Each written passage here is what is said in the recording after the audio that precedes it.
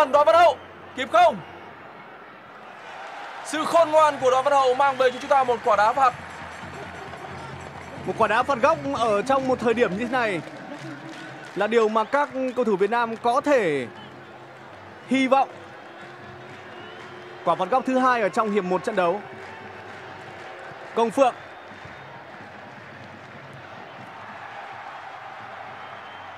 Đó lại là Khalin Số 13 của đội tuyển Jordani Thiếu rất chắc chắn Ở khu vực giữa sân Và đặc biệt giỏi trong những pha tranh chấp.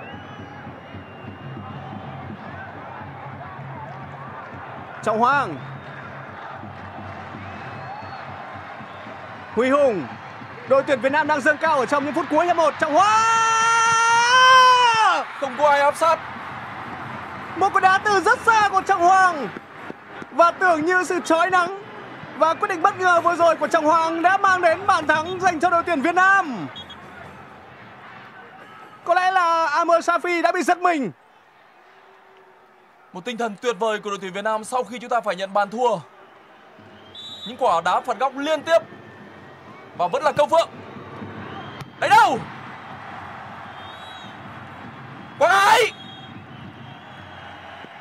Như vậy là trọng tài đã nổi còi kết thúc hiệp đấu đầu tiên. Trận đấu đầu tiên thuộc vòng 1/8 của Asian Cup 2019.